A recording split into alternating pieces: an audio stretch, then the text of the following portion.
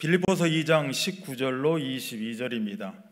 내가 디모데를 속히 너희에게 보내기를 주 안에서 바람은 너희의 사정을 알므로 안위를 받으려 함이니 이는 뜻을 같이하여 너희 사정을 진실이 생각할 자가 이밖에 내게 없음이라 그들이 다 자기 일을 구하고 그리스도 예수의 일을 구하지 아니하되 디모데의 연단을 너희가 안 하니 자식이 아버지에게 함같이 나와 함께 복음을 위하여 수고하였느니라. 아멘. 다 함께 신앙을 고백하십니다. 주는 그리스도시요 살아계신 하나님의 아들이십니다. 아멘.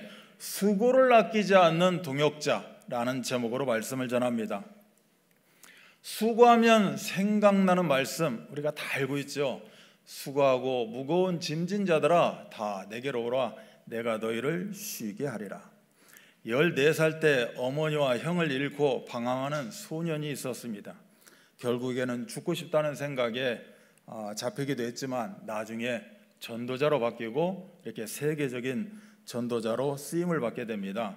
이 분이 붙잡은 그 최초의 언약이 바로 오늘 이 말씀 수고하고 무거운 짐진 자들아 다 내게로 오라 내가 너희를 쉬게 하리라 세계적인 전도자 썬다싱의 그런 내용입니다. 우리 옆에 분과 한번 함께 이야기하겠습니다. 인사 나누겠습니다. 오시느라 수고하셨습니다. 어, 이대로 하셔야 됩니다. 늦은 장마, 가을 장마 고생 많으시죠? 어, 혹시 늦은 장마, 가을 장마가 아니고 15일 빨리 왔다는데 특별한 장마가 아닌가 싶기도 하고 그렇습니다. 우리가 이렇게 좋은 의미로 말하고 있지만 그만큼 힘들고 어려운 세상을 우리가 아, 살아가고 대변하고 있는 말이 됩니다. 수고는 일할 때 하는 이 수고를 말하는 것이 아니고 너무 피곤하고 불안하고 힘든 것 이거를 수고라고 합니다. 여기서 짐은 자기가 할 수 없는 과한 짐을 억지로 지고 이걸 해야 되는 이런 상황 이것을 짐이라고 이렇게 표현을 합니다. 그런데 우리 하나님은 이런 고통의 수고를 주신 것이 아닙니다. 창세기 1장 28절에 보면 우리들에게 행복한 청지기적 사명, 문화 명령을 주십니다. 생육하고 번성하고 충만하고 정복하고 다스려라 이런 내용입니다. 또 장세기 2장 15절에 보면 에덴 동산에서 경작하며 지키게 하죠. 똑같은 의미의 그런 내용입니다. 이처럼 청기지역 사명을 가지고 문화 명령, 참으로 행복한 그런 여정 가운데 있기를 원하시는 것이 우리 하나님의 그런 마음, 우리 중심일 것입니다. 이처럼 축복과 자랑의 아름다운 수고를 하면서 살아가야 되는 것이 우리의 참으로 창조 원리일 겁니다. 그렇지만 세상 모든 사람들은 이러한 고통을 지고 살아가게 됩니다. 과연 무엇 때문에 그러는가? 무엇이 문제인가? 우리는 잘 알고 있습니다. 바로 다섯 가지 문제에 걸려서 이렇게 살 수밖에 없다라는 겁니다. 이 다섯 가지 영적 문제 바로 창세전 문제입니다. 하늘에서 전쟁이 있었다는 겁니다. 어, 계시록 12장 9절에 보면 큰 용이 내쫓기니 예뱀 곧 마귀라고 하고 사탄이라고 하며 온 천하를 꿰는 자라 그가 땅으로 내쫓기니 그의 사자들도 그와 함께 내쫓기니라라고 말씀합니다. 이처럼 하늘에 전쟁이 있었고 이 전쟁은 교만으로부터 시작됩니다. 이 교만의 마음이 어디로 찾아옵니까? 에덴 동산으로 찾아옵니다. 그래서 근본 문제를 만들어내게 되지요. 이 아담과 하와도 이 교만의 덫에 걸려 버립니다. 바로 문제의 씨앗, 문제의 열매가 교만이고 모든 것이 교만에서 비롯되는 겁니다. 우리가 지금 살아가는 모든 상황들, 정치, 경제 할 것 없이 이웃과의 관계, 내 자신과의 관계 속에서도 사실 여러 가지 문제가 도출되고 어, 나타나게 됩니다. 자세히 보게 되면 그것은 교만의 씨앗부터 시작되지 않나라고 생각을 합니다. 이 원흉 바로 마귀요 사단이요 귀신이요 예뱀이라고 하는 천하를 꿰는 자 이 덫에 교만의 덫에 걸려들게 됩니다. 그래서 교만의 증표 나 중심입니다. 물질 중심이고 성공 중심으로 살아간다는 겁니다. 이렇게 창세전 문제, 근본 문제가 이제는 확대가 됩니다. 오래된 문제, 바로 사도행전 13장, 16장, 19장이라는 정치, 경제, 사회, 문화 모든 것 속에 뿌리를 내리고 세상 틀 속에서 이 오래된 문제는 더 확장되어 갑니다. 이처럼 장세전 문제, 근본 문제, 오래된 문제가 우상이 되어 파고든 바로 가문의 문제입니다. 출애굽기에서도 말씀하고 있다시피 죄와 저주의 대물림 속에서 살아갈 수밖에 없는 것입니다. 이 네 가지 문제가 개개인의 불신자 상태 여섯 가지 개인의 문제로 파고든다는 겁니다. 이 다섯 가지 영적 문제 속에서 인간은 수고와 고통 가운데 살아갈 수밖에 없다. 이처럼 장세기 3장 인간의 범죄 이후에 나타난 현상이 무엇입니까? 수고해야만이 자식을 낳는 것이고 수고해야만이 그 소산을 먹을 수가 있다라는 사실입니다. 그래서 시편 90편 10별은 수고와 슬픔뿐인 이런 삶이다. 이런 세상 가운데 살아간다라고 이야기합니다. 그래서 전도서 1장 1절로부터 18절 중에 3절을 보게 되면 해 아래에서 수고하는 모든 수고가 사람에게 무엇이 유익한가라고 말씀합니다. 참으로 축복 가운데 하나님의 모든 축복을 다 받은 솔로몬 이제 참으로 교만 가운데 쌓이게 되었고 교만을 벗어버린 전도자의 고백이 바로 오늘 이 전도서 말씀입니다. 이 1절에서 18절 말씀을 통하여서 우리가 잠깐 봐야 될 것이 세상 만물이 부산하게 쉬지 않고 움직이고 있는 것 같은데 실상은 똑같은 일을 반복하고 있다는 겁니다. 이 땅이라고 하는 지상 무대는 그대로 있고 한 세대가 와서 사라지고 또 다른 세대가 와서 사라지고 또 다른 세대가 온다라는 겁니다. 이처럼 되풀이 될 뿐이다라고 이야기를 하고 있죠. 그러니 해 아래서 그 수고가 아무리 크다 한들 무슨 의미가 있겠느냐라고 말씀합니다. 또 인간의 역사라는 것도 계속해서 반복합니다. 피조물인 인간은 하나님의 창조하신 이 테두리 속에서 있을 뿐입니다. 그 안에서 맴돌 뿐이지요. 그래서 전도서 1장 그 8절 같은 경우도 모든 만물이 피곤하다는 것을 사람이 말로 다 말할 수는 없나니라고 이야기합니다.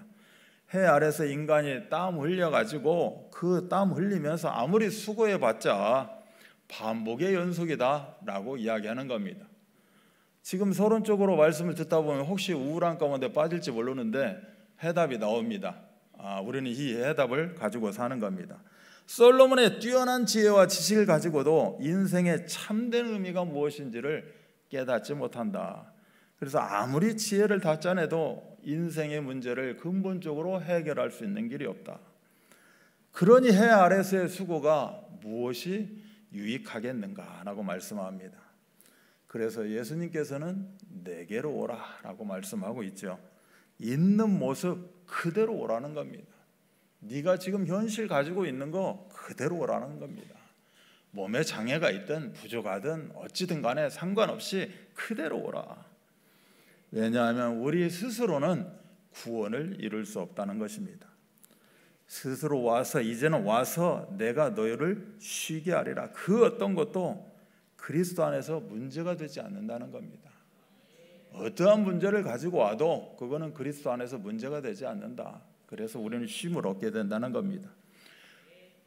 또 왔는데 짐을 지고 있지 말고 내 짐을 지라. 너희 짐을 내려놓고 내가 주는 짐을 지라는 겁니다. 하나님이 주시는 사명을 말씀하고 있죠. 그래서 우리는 생즉 명다라고 이야기를 합니다.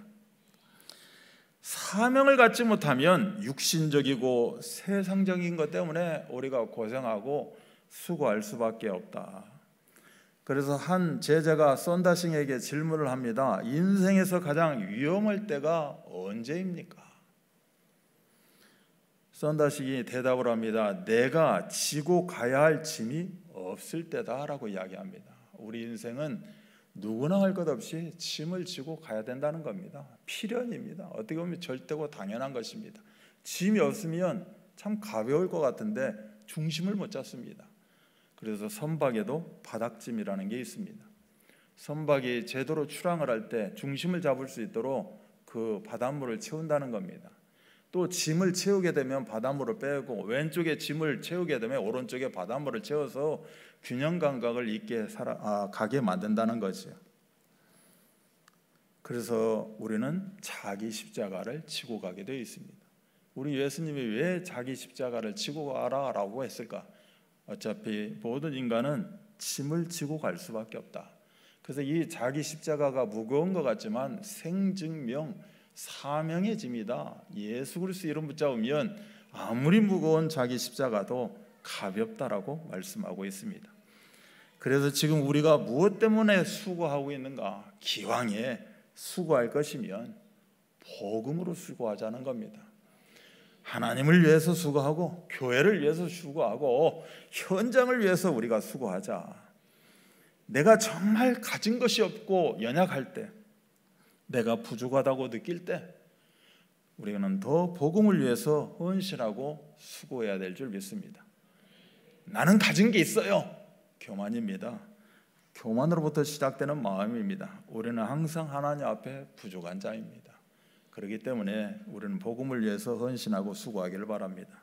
이를 통해서 하늘의 신령한 복과 땅의 기름진 복을 충만히 누리시기를 주 예수 그리스도 이름 받들어 축복합니다. 첫 번째입니다. 그리스도 예수의 일을 하는 수고입니다. 오늘 21절 22절은 그들이 다 자기 일을 구하고 그리스도 예수의 일을 구하지 아니하되 디모데 연단을 너희가 안 하니 자식이 아버지에게 함같이 나와 함께 복음을 위하여 수고하였느니라. 세상에는 일생 동안 염려하면서 살아가죠. 무슨 염려이니까 무엇을 먹을까 마실까 입을까 하는 염려입니다. 그래서 자신의 일만 구하다가 간 사람들이 어떻게 보면 많이 있을 겁니다. 우리 어떻게 보면 가족 중에도 그렇게 살다 간 사람도 없지 않아 있을 수 있겠죠. 바로 헛되고 헛되고 헛된 그러한 허망한 인생길이 되어집니다. 우리가 신앙생활을 하면서도 그리스도의 일을 구하지 않고 함께하지 않고 때문에 때문에 때문에만 연출하게 되면 그런 핑계밖에 될 수가 없는 겁니다.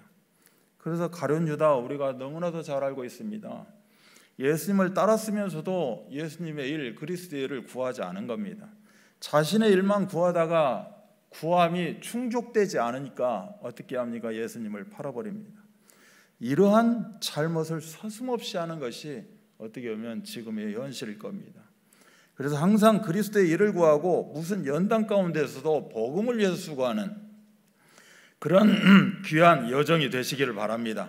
그렇다면 그리스도 예수의 일이 무엇인가? 요한복음 6장 28절 29절의 내용을 보면 어떻게 해야 하나님의 일을 할 수 있습니까? 라고 묻습니다. 이때 예수님께서 하나님께서 보내신 일을 믿는 것이 하나님의 일이다라고 말씀하고 있죠. 바로 그것이 그리스도 예수의 일인 것이다. 이러한 다섯 가지 영적 문제 가운데서 종로로다는 인간을 창세전의 택함을 통해 끄집어내는 그런 계획을 세우시고 그리스도 안에서 죄 사함의 축복을 통해서 거룩하고 흠이 없게 완전히 깨끗하게 시키신 그 십자가 보혈로 새로운 피조물이 되고 하나님의 아들들이 되게 하신 겁니다. 뿐만 아니라 때가 찬 경륜을 위하여 하나님의 그 목적 의도를 통하여서 하나님은 시간표 가운데 예정하사 예수님을 다시 머리 되게 하시고 그 안에서 우리를 기업 되게 하신 그 축복을 우리 하나님은 주신 겁니다. 그래서 우리는 하나님의 가장 소중하고 가치 있는 존재라는 것을 믿고 의지하며 이번 주 말씀처럼 영광의 찬송이 되어서 나를 보좌하고 현장을 보좌하고 세상을 보좌하는 그런 자리로 다 나가야 될 줄 믿습니다. 그 자리가 바로 오늘 이 예배 자리겠죠. 또한 요한복음 8장 29절은 예수님께서 나는 항상 나를 보내신 이가 기뻐하시는 일을 행한다라고 말씀하십니다. 바로 그리스도 예수의 일인, 일인 것이죠. 그래서 예수님은 자신을 세상에 보내신 하나님의 일을 이루기 위해서 자기 일생을 바치신 겁니다. 눌린 자를 자유케 하고 병든 자를 치료하시고 죄인들을 용서하시고 죽은 자를 살리시며 천국 복음을 전파하게 됩니다. 이걸로 끝난 게 아닙니다. 최후에는 십자가에 죽기까지 순종하심으로 보내신 분의 일을 행하시게 됩니다. 그걸로 끝난 것이 아니죠. 또한 제자를 세우는 일에 전념하셨습니다. 열두 제자를 향해서는 나를 따라오너라. 내가 사람 낚는 어부가 되게 하리라. 70 제자를 향해서는 누가복음 10장에 둘씩 앞서 보내시면서 너희가 가걸랑 평안을 빌어주고 또 병자를 고치고 하나님 나라가 가까이 왔다라는 것을 전파하라라고 말씀하십니다. 그러면서 추수할 일꾼을 보내주셔서 언약으로 붙잡고 이러한 아, 여정이 되어라라고 말씀하십니다. 부활 메시지를 통해서 지금 시대 우리에게 무엇을 말씀하십니까? 너희는 가서 모든 민족을 온 천하에 다니면서 만민에게 복음을 전파하고 이 모든 일에 증인되는 삶을 살아라 말씀하십니다. 또한 내 양을 먹이고 땅 끝까지 이르러 내 증인이 되리라 하시니라라고 말씀하고 있죠. 그래서 우리는 이 그리스도의 예수의 일을 지금도 힘차게 역동적으로 해 나가는 줄 믿습니다. 세 번째로 보면 요한복음 9장 2절 3절은 장애인으로 사는 거 과연 누구의 죄 때문입니까? 라고 말씀합니다. 지금은 그러지 않겠지만 저 어렸을 때만도 해도 이 장애인이 가정에 있다. 참 죄 많은 가정이다라고 할 정도로 그 부모들이 내가 죄가 많아서 내 아들이 장애인이 됐다 할 정도로 이렇게 죄죄를 이야기하는 시절도 있습니다. 그때 요한복음 9장 3절에 그에게서 하나님이 하시는 일을 나타내고자 하심이라라고 그리스도 예수의 일에 대해서 말씀하십니다. 인간을 창세기 3장, 6장, 11장 그 운명의 함정 속에서 가두어 죽이려고 하는 이 사탄의 소리에서 빠져나오게 하는 일 이것이 바로 그리스도 예수의 일일 것입니다. 날이 갈수록 어려워지는 이러한 사도행전 13장, 16장, 19장의 그 재앙의 틀 속에서 영원히 종로로 달 수밖에 없는 그 예틀을 깨버리고 새 틀을 갖추어내는 그 일, 그것이 바로 그리스도 예수의 일일 것입니다. 불신자 상태의 그 여섯 가지 불순종의 아들, 본질상 진노의 자녀 그 현장에서 그리스도의 비밀을 말하고 그들을 구해내는 전도자의 일, 그것이 바로 그리스도 예수의 일일 것입니다. 그래서 지금 우리를 향한 하나님이 원하시는 일이 무엇인가? 미래 살릴 플랫폼이요, 파스망되어 안테나 역할을 하는. 그래서 온전히 감당하는 그리스도의 절대 제자 이것이 바로 우리가 지금 해 나가는 일이 될 것입니다. 이 세 가지 본문에서 우리가 함축해서 하나로 어, 정리한다면 그리스도 예수의 일은 바로 나에게 주신 우리에게 주신 우리 교회에 주신 가정에 주신 후대에 주신 천명 소명 사명이 그리스도 예수의 일이 될 것입니다. 이 그리스도의 예수의 일로 우리가 237 나라 5천 종족 복음화가 되는 것 이것이 바로 그리스도 예수의 일일 것입니다. 이 열매가 향기로운 선물이 되어 하나님을 가장 영화롭게 하고 237 나라 5천 종족 복음화에 주역으로 쓰임 받는 그러한 축복을 오늘도 우리의 인생 여정 속에 누리시기 바랍니다. 두 번째 수고를 아끼지 않는 수고입니다. 오늘 빌보서 19장 20절에 보면 내가 디모데를 속히 너희에게 보내기를 주 안에서 바람은 너희의 사정을 알므로 안위를 받으려 함이니 이는 뜻을 같이하여 너희 사정을 진실히 생각할 자가 이밖에 내게 없음이라. 바울의 기쁨은 오직 한 가지 초점이 맞춰져 있습니다. 바로 복음 전파입니다. 이 복음 전파에 진전이 있기를 바라고 그리스도가 전파된 다음에 설령 죽음 가운데 놓여져도 죽음의 그 상황에 처했더라도 기뻐한다라고 분명한 말씀 속에서 이야기를 합니다. 오직 복음만이 내 자신의 존재 이유이고 자신의 삶의 참 소망을 준다는 그런 고백을 하기도 합니다. 그런데 감사하게도 237 나라 복음화를 위한 하나님의 특별한 계획 속에서 필연적인 만남을 갖게 됩니다. 우리 성경 속에서 보면 참 중요한 사람들이 바울과 함께하는 것을 보게 됩니다. 이것이 바로 기쁨 중에 기쁨일 것입니다. 오늘 본문이나 로마서 16장이나 237 성교의 드림팀 이 모두가 수고를 아끼지 않는 동역자인 것입니다. 로마서 16장 6절로 12절에도 주 안에서 많이 수고한 사람에 대해서 특별히 이야기하고 있습니다. 이처럼 바울의 이 동역자, 동역자의 의미가 한마디로 함께 일하는 자, 함께 수고하는 자입니다. 수고를 아끼지 않는 동역자 이 말은 수고를 아끼지 않는 수고 이 말하고 같은 말이 될 것입니다. 오늘 이 본문에서 읽었다시피 복음을 위해 수고한 디모데에 대해서 이야기를 합니다. 이 본문에서 디모데에 대해서 이야기를 하고 있지만 디모데는 디모데후서 1장 2절에 사랑하는 아들이다라고 사도 바울이 고백을 하고 있는 것을 보게 됩니다. 뿐더러 바울은 디모데가 자신과 뜻을 같이 한 동역자였다라고 강조합니다. 어떤 사역을 하든지 간에 예수 그리스도 안에서 한 마음, 한 뜻이 되는 것이 사역의 승패를 아, 가르지 않나라고 보게 됩니다. 우리는 사역을 할 때 열정을 가지고 열정을 계속해서 또 강조하기도 합니다. 열정이 참 중요한데 뜻을 같이 하지 않으면 오히려 방해거리가 됩니다.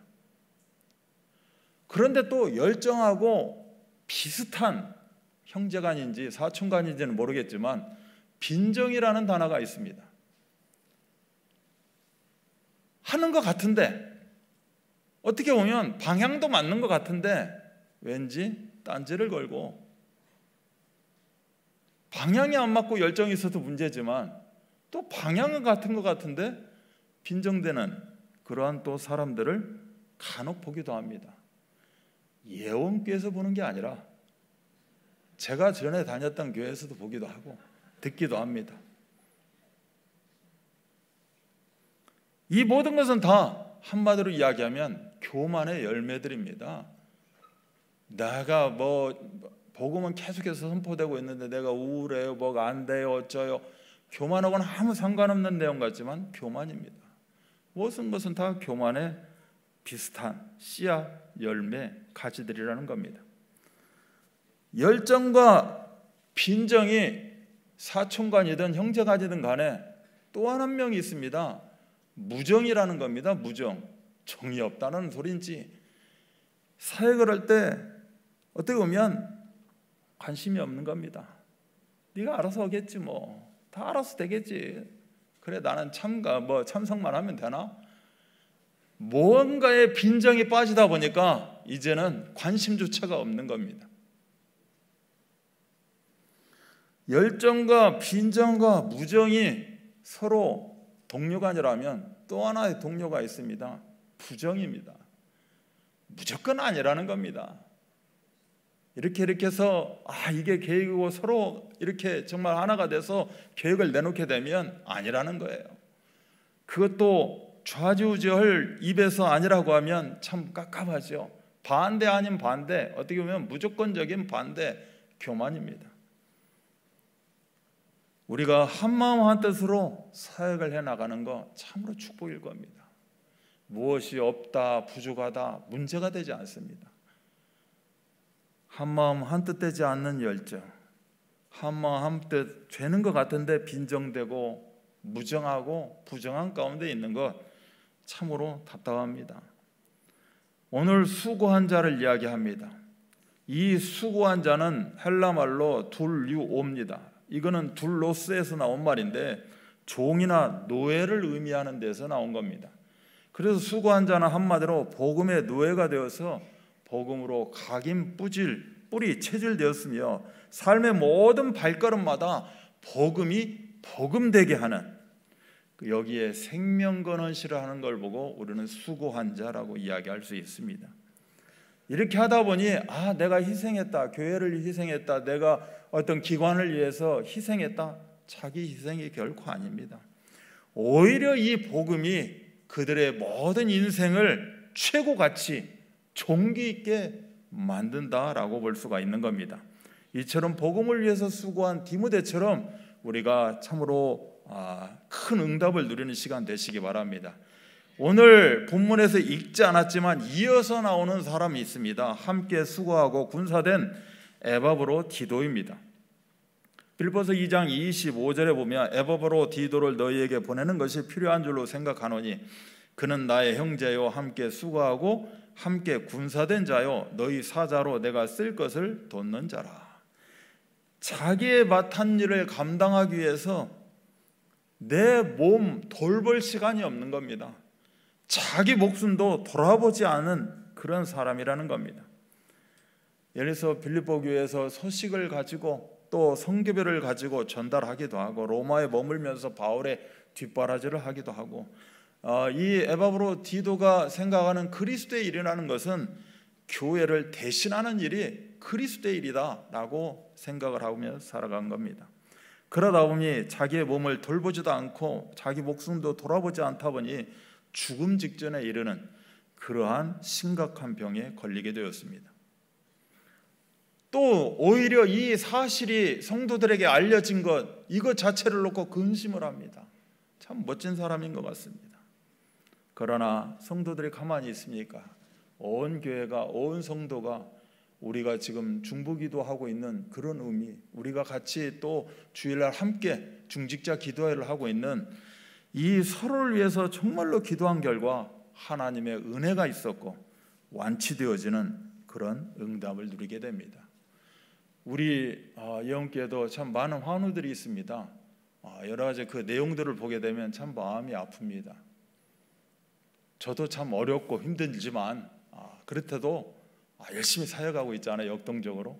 근데 참 이런저런 아, 좀 아픔 가운데 참 또 그 질병을 놓고 또 전심할 수밖에 없는 이런 것을 보게 되면 참 마음이 아프죠. 또 최근에 우리 어, 드림께도 참으로 20년 함께했던 이 권사님이 참 이렇게 평소 가지고 있었던 어떤 선천적인 질병이라고 할 수 있는 그 뇌 질병을 가지고 살아가다 보니까 또 2차적인 이러한 아, 아픔이 오게 됐고 지금도 이렇게 어려운 가운데 있습니다. 뿐만이 아니라 장애를 가진 것 자체가 어떻게 하면 크나큰 참으로 평생 가지고 짊어지고 가야 될 자기 십자가 그런 질병 가운데 살아갑니다. 그런데 이 장애가 또 다른 2차적인 질병을 유발하게 됩니다. 어떻게 보면 이게 또 하나의 문제가 큰 문제가 되어집니다. 저희 교회 안에 참으로 어, 태어난 지 며칠 안 돼서 어, 어려운 가운데 왔고 또한달 이것이 들어오면서 뇌를 침범하게 되고 지금 스물여덟이라는 나이를 가지게 되었지만 참으로 자기 몸 하나 가누지 못하고 의사소통도 제대로 하지 못하고 그렇게 살아가는 자매도 보게 됩니다. 우리 드림교 안에 보면 다 마찬가지겠죠. 삶이라는 게 선천적인 그런 질병 가운데 지병 가운데 살아가는 분들도 계시고 장애를 가지고 선천적인 그런 질병 가운데 또 어떻게 보면 유전을 가지고 살아가는 그런 병도 있습니다. 부모 중에 한 분이 유전병을 가지고 있었던 거죠. 지금 이렇게 딱 그 말을 들으면서 생각하면 왜 결혼했대? 결혼은 둘만 잘 살지 왜 또 애까지 낳대? 라고 생각할 수가 있지만 알고 결혼했겠어요. 본인도 모르고 또 그 유전병이 결혼하고 40대, 50대에 나타나기도 하고 이미 후대는 나왔는데 부모가 유전병이 또 나타나게 되고 또 그 유전병이 후대에게 그대로 물려지게 되고 그 고통 이렇게 바라보고 있으면 참 어떤 것이 하나님의 뜻인가라고 이렇게 깊이 기도도 하게 됩니다. 그러나 오늘 이 말씀을 보면서 우리가 과연 어떻게 받아들여야 되는가? 여기서는 완치되었다라고 제가 지금 설교 때 이야기를 했지만 그러면 그 병에서 완치되지 않으면 하나님의 뜻과 계획이 아닌가? 또 이런 생각도 합니다. 현장에 나가면 아, 이 목발 을 짚고 당당하게 이렇게 가서 예수 그리스도를 전파합니다. 근데 저한테 들려오는 답이 있습니다. 예수 그리스도가 모든 문제 해결자라면서 왜 그 장애는 해결 못하고 나한테 와서 복음 전하냐고 이야기도 합니다. 그럴 때 과연 어떻게 해야 되는가라고 이제 또 생각도 해보죠. 빌보스 2장 27절에 보면 그가 병들어 죽게 되었으나 하나님이 그를 궁일이 여기셨고 그뿐 아니라 또 나를 궁일이 여기사 내 근심의 근심을 면하게 하셨다. 이런 육신적인 어, 치유도 벌어질 수 있겠지만 참으로 하나님은 이렇게 하지 아니하실지라도 하나님은 우리들에게 참으로 어, 복음적으로 완치의 응답을 주시고 당당하게 현장 가운데 또 하나님이 나에게 주신 장애 질병들을 통하여서 우리는 복음 전도자의 복음을 위해서 수고하는 그런 전도자의 직무를 가지고 살아가게 됩니다. 2장 30절에 보면 내가 그리스도의 일을 위하여 죽게 이르러도 자기 목숨을 돌보지 아니한 것은 나를 섬기는 너희의 일에 부족함을 채우려 함이니라라고 말씀합니다.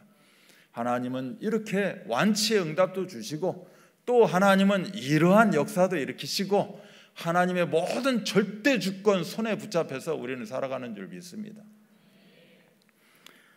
바울은 빌립보 교인들은 그를 기쁨으로 영접하고 존귀하게 여기라고 정말 그를 정말로 존대해 달라고 라고 부탁을 할 정도고 그를 칭찬합니다.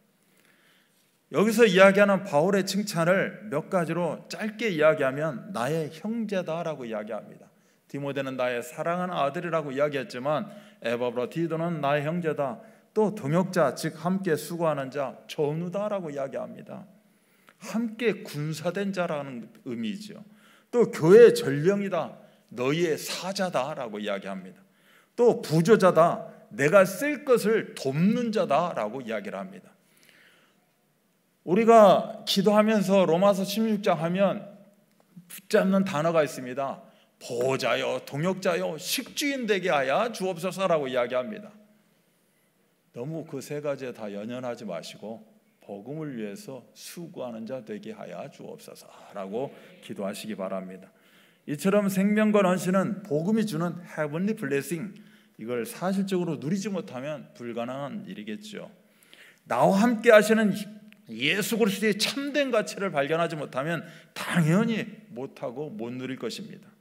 항상 예수 생명이 주는 놀랍고 풍성한 그 축복을 실제로 체험하며 함께 수고하고 함께 군사된 자로 삶의 모든 현장에서 변혁의 주역 다 되시기를 주 예수 그리스도 이름 받들어 축원합니다. 결론입니다. 아, 미국 서부 개척 시대에 많은 사람들이 이동할 때 주요 이동 수단이 역마차를 이용했습니다. 이 역마차에는 1등석, 2등석, 3등석이 있다고 합니다. 이 1등석에 앉은 사람 당연히 많이 지불했겠죠. 고장이 나도 아무 관여하지 않고 자리 그 자리에 가만히 앉아 있습니다. 2등석에 앉은 사람 고장이 나면 마차에서 내린다고 합니다. 일하기 위해서 내리는 게 아니라 어슬렁 어슬렁 구경을 하기 위해서 내립니다. 3등석에 앉은 사람 고장이 나면 즉시 내려서 마부와 함께 마차를 수리하고 참여하는 사람입니다. 그러니 출발하기 전에 이 마부는 당연히 3등석에 누가 앉아 있나 이렇게 보게 되겠죠. 교회 안에서도 이렇게 1등석 있을 겁니다. 2등석 있을 거예요. 3등석 많이 있는 줄 압니다. 정말로 무슨 일이 나든 우리 교회 주부에 또 강단에서 이런 이런 계획을 이야기하면 팔 걷어 붙이고 이렇게 3등석에 앉아 있는 사람처럼 함께 동역하고 정말 함께 전도 현장에서 예수가 그리스도라고 많이 참 함께하는 그런 분들도 계실 겁니다. 마가복음 10장 44절에 너희 중에 누구든지 으뜸이 되고자 하는 자는 모든 사람이 종이 되어야 하리라라고 말씀하십니다. 하나님의 말씀입니다. 그래서 한번 생각해 봅니다. 우리 예원 성도들은 복음 경제, 빛의 경제를 통하여서 많은 경비를 내고 1등석에 앉는 사람들 다 되시기 바랍니다. 또 있습니다. 또한 수고를 아끼지 않는 3등석 성도가 되어져서 이렇게 237 나라 복음화의 주역으로 다 쓰임 받기를 바랍니다. 마음껏 헌신하고 마음껏 수고하고 이러한 응답들 다 누리시기를 바랍니다. 하나님이 그렇게 하시게 만듭니다. 수고를 통해 주시는 heavenly blessing, 하늘의 신령한 복과 땅의 기름진 복 몇 개만 말씀드리도록 하겠습니다. 네가 네 손이 수고한 대로 먹을 것이라 네가 복되고 형통하리로다라고 말씀하십니다. 하나님의 말씀 시편 128편 2절입니다. 수고한 대로 먹는다는 겁니다. 복되다는 겁니다. 너희 수고가 주 안에서 헛되지 않은 줄을 알미라라고 말씀합니다. 수고 공짜 없습니다. 헛됨이 없고 헛되고 헛되고 헛되니가 아니라 하나님의 큰 응답 되어지는 수고일 것입니다. 누가음 7장 36절 50절은 향유 부은 여인 우리 잘 알고 있습니다. 복음이 증거되는 곳마다 이 여인의 일이 증거될 것이다. 수고와 헌신은 이처럼 놀라운 역사를 일으키게 됩니다. 많은 사람을 옳은 대로 돌아오게 한 자는 별과 같이 영원토록 빛나리라. 복음을 위해서 수고하고 전도자의 직무를 위해서 수고하는 자 하늘의 별과 같다는 겁니다. 저 별은 나의 별, 저 별은 너의 별, 별을 따다 주세요. 왜 그렇게 수고로운 별을 땁니다. 딸 수도 없는 별을 내 옆에 있는데 그 수고의 별 모든 분들이 다 그 별이 되는 줄 믿습니다. 혹시 결혼을 앞두신 분들 저 위에 쳐다보시 마시고 옆에 쳐다보세요. 반짝반짝 빛나는 별들 붙잡으시면 됩니다. 그런데 또 눈에 보이네요. 한순간 없네. 부족하네. 장애가 있네. 복음을 위해 수고하는 그 별들과 함께 참으로 귀한 아, 영혼의 응답 누리시기 바랍니다. 우리의 소망이나 기쁨이나 자랑의 면류관이 무엇이냐? 그가 강림하실 때 우리 주 예수 앞에 너희가 아니냐라고 이야기합니다. 우리의 수고를 통하여서 하나님 앞에 무릎 꿇은 자들 참으로 우리의 자랑의 면류관이 되어지는 것이고 기쁨의 면류관이 되어지는 것입니다. 네가 죽도록 충성하라.